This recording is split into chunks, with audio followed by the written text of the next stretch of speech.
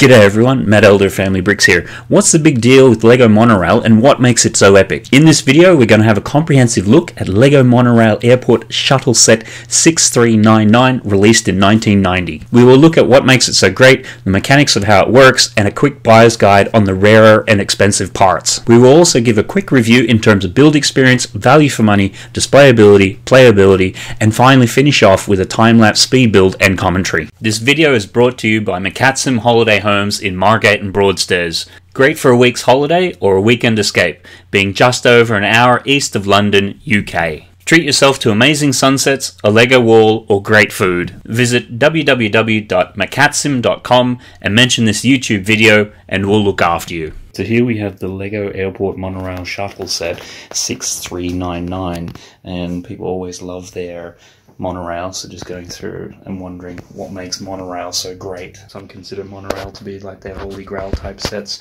They only ever made three of these, which was this one here and then two space type ones. So the airport one is the only one which you know would fit nicely within a Lego city itself. For mine, this is a great set and I can really see the appeal for it and why so many people lust after it and want to get it and also why it's pretty hard to come by.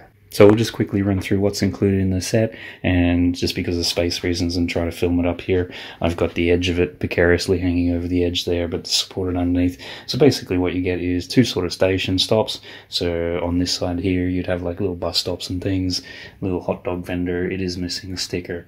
Um, these are all pretty much vintage parts and everything. Then you come up to the actual monorail station itself, which also has one of these little stop-go functions here, which we'll get into a bit later. Then obviously it's got a fair amount of track there and then you can go over to like the other sort of side and you've got another little platform here and another road plate and just a few little incidental type bits and pieces. I've currently got it sort of in this double loop configuration so that it can sort of run around the tier, then go back underneath it and then come up around. So probably the most space effective directions but you do also have the options with the instructions to have like figure eights and things like that. So and that's just with the pieces that came out of the box without any additional ones. So the set is mostly complete. The only thing which I'm missing is some of the minifigures. I think there's about nine in total. I'm never too worried about minifigures and I've managed to pick up these ones and they also have their little suitcases. When I got the set it was about 90% complete and that was sort of in a pre-lockdown world. Since lockdown has happened uh, and COVID and things like that, the prices on these things have gone astronomically stupid, uh, much like all the other sort of collectibles out there in the market, whether it's comic books or trading cards, Pokemon, Magic the Gathering, Funko Pops, all that sort of stuff.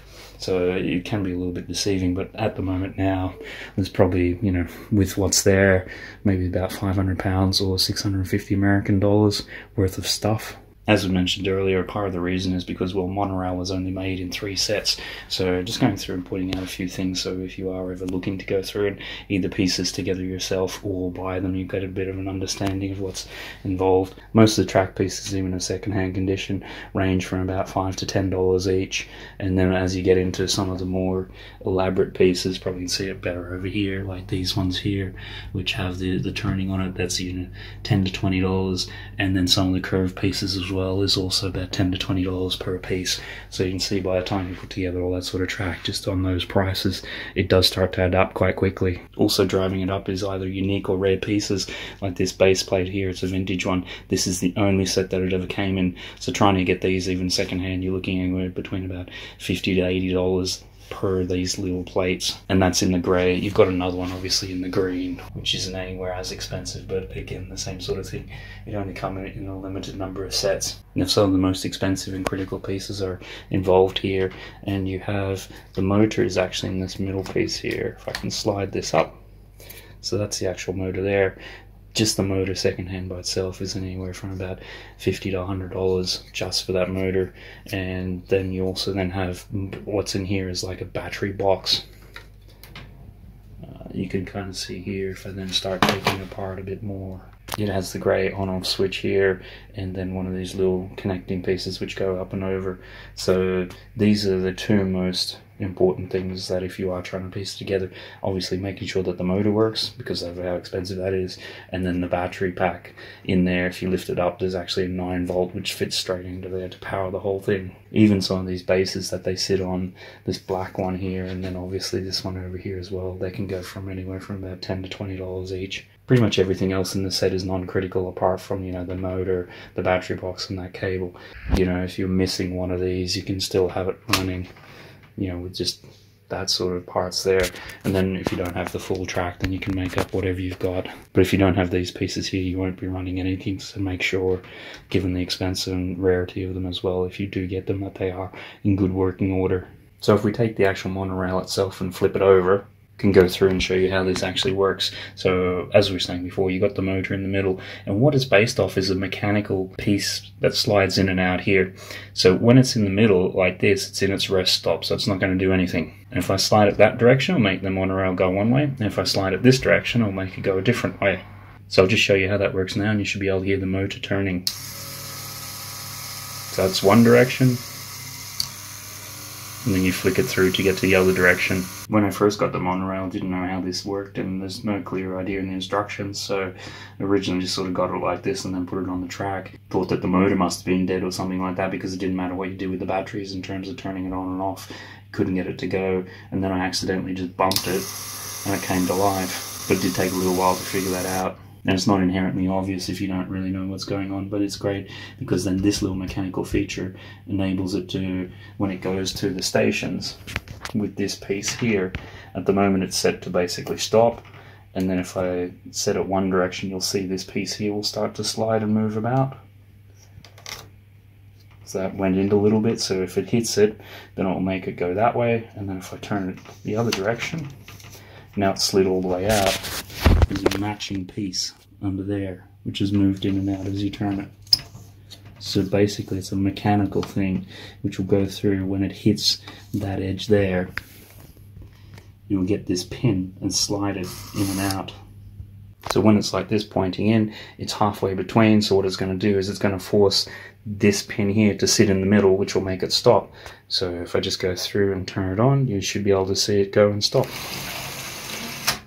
and that's just because again you can see now when it's gone down there it's just pushed that little black pin into the center position which is the off mode.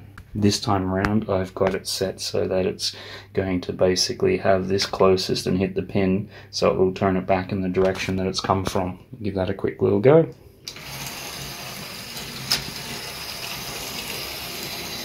And you could see there how it made it go back in the opposite direction so this time around, we'll have it set to be going that direction. So when the monorail comes around, it should just keep on going straight through.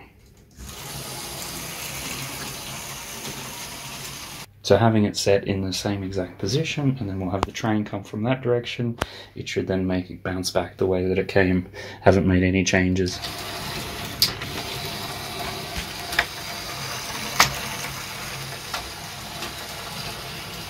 Now you can see it's bounced back in the other direction. So what this means is that if you have these two set, one for that direction and then one for this direction here, on a closed little part like that, it will actually just bounce backwards and forwards and we'll have a quick look at that.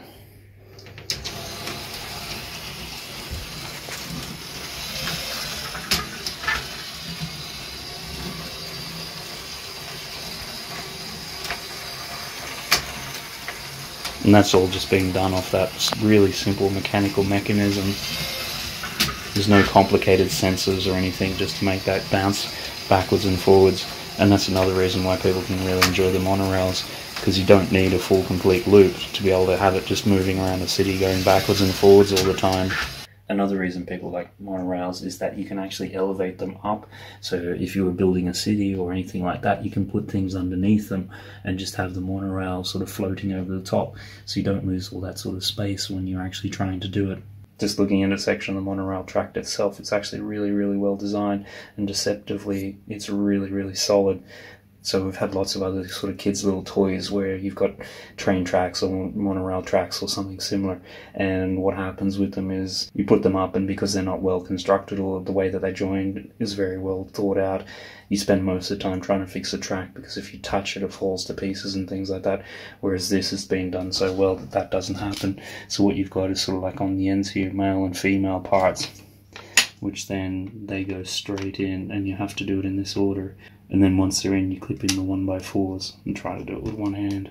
But there you go you can sort of get them in there like that. And then once that goes in that is really really rigid. Here we have our monorail train upside down again. And you can see you've got this little cog here with all the grooves in it. And then on the track you've got all these little grooves. And that's how it works basically that gear cog there is turning and it just rolls along there and it sort of pulls it along. So the speed that you've seen the monorail go at is pretty much the top speed and it doesn't go much faster unless you've got a slightly better charge in your actual 9 volt or you've re-engineered this somehow to make that cog go faster. So again here we have the motor and then we have the main battery unit there. And then when you lift this up here you can actually see the on off switch for the motor is actually this little grey pin in here. And at least on this one this is kind of a bit tricky and sometimes not all that sticking very well. So just something to watch out for and very easy. You just have it turned off like this and go okay yep that's good it's not going anywhere, it's all turned off. And then you come back tomorrow and you find that actually because you didn't turn that grey switch off, it's drained the battery a fair bit. So obviously when you finish, just make sure to turn it off. The way that these cars go together and the coupling mechanism on them is quite unique as well. I'll just do it with this one because it doesn't have the power cable which you need to disconnect. But you basically just come along and it pops out more or less like that. And the interesting thing with these is you've only got the wheels at one end or the front because uh, basically it relies upon that being inserted in there into place to hold up the back end.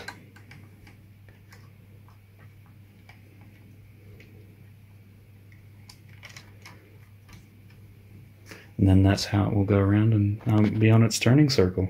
Another reason people like monorail is because of how tight these curves can be, so it doesn't take as much space up. So we've got just standard track for railways versus monorail. And in this section here, it's just, you can see, if I just move that slightly down, you've basically got two curve bits to turn it.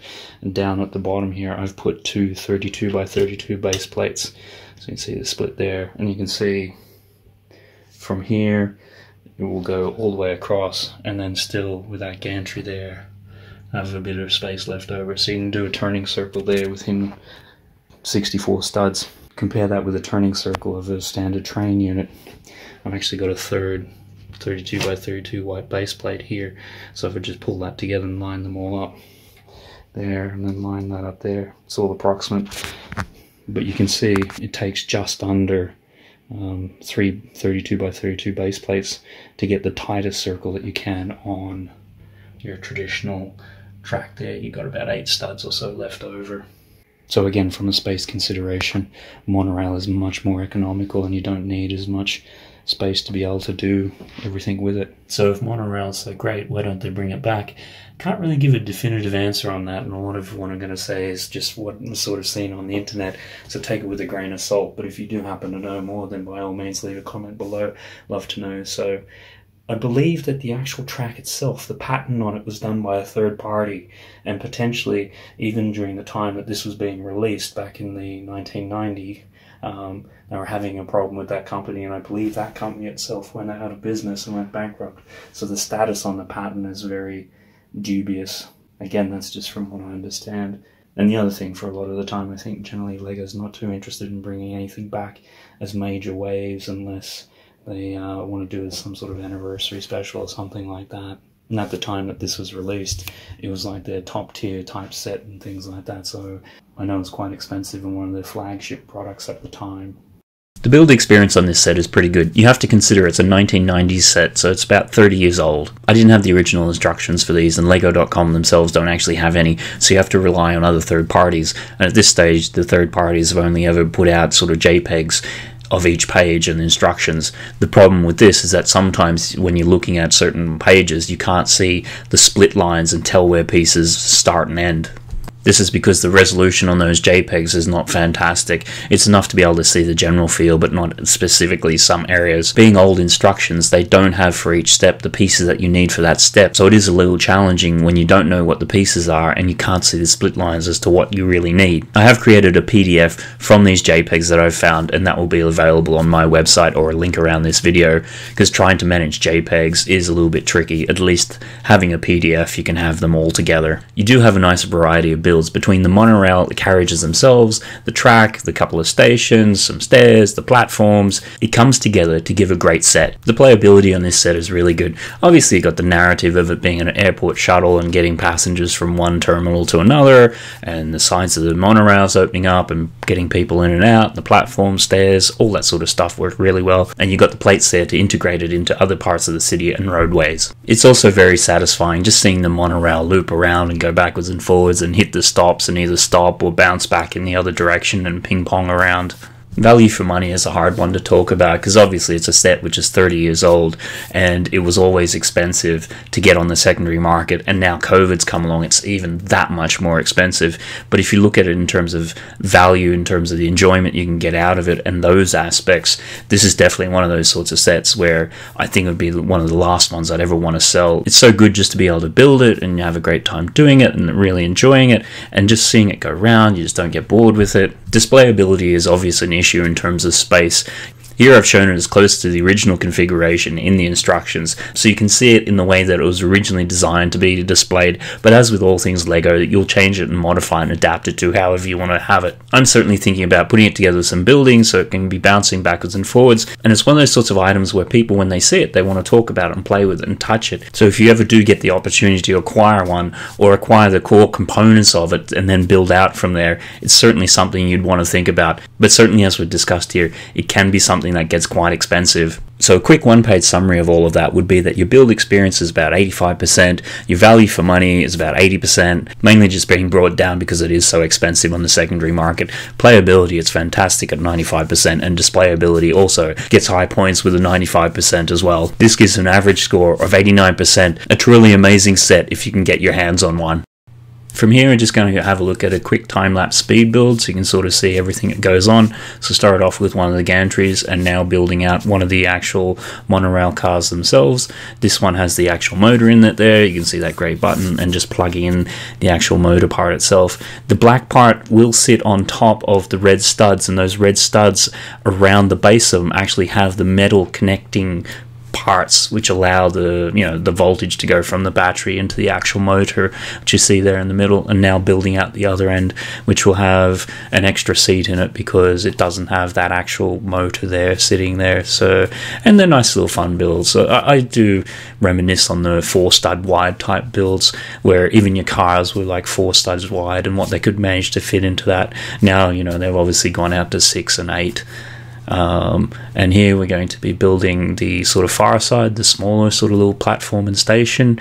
And it's just a pretty basic sort of builds in terms of building up enough to have a bit of a platform and then going through and just having the signal starts there as well those curve pieces here which we're putting in they're also quite rare and quite difficult to get so you can, might have to be patient. There's two of them there and they can get quite expensive as well.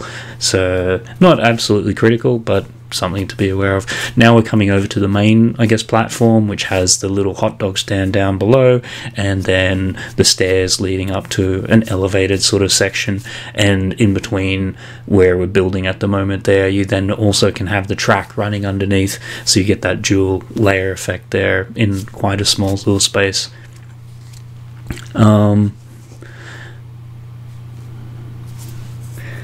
and just as you're going through there you just got to make sure that you're getting all the bits in the right way also too when you go to put on the actual um, switch there's two that come in the set and they're a little bit different in terms of where the actual uh, piece that juts out sits. So with this one, you just got to make sure it will sit on top of where that middle beam is there, the black one that you can see and this is where I've gone through and started to try to put it together. So if you've got it in the wrong the wrong one, that won't sit properly, and you'll know it that way. Putting the monorail cars onto the track is actually relatively straightforward and they don't really ever come off. If you've enjoyed and or gotten something out of this video, then hit that thumbs up button and or consider subscribing. Has this video piqued your interest in monorail or do you already own a set? Sound off in the comments below on what you thought of our complete guide to the LEGO Shuttle Airport monorail set or just leave the word monorail and we'll know that you watched the whole video. To see the live stream of this monorail build, click here.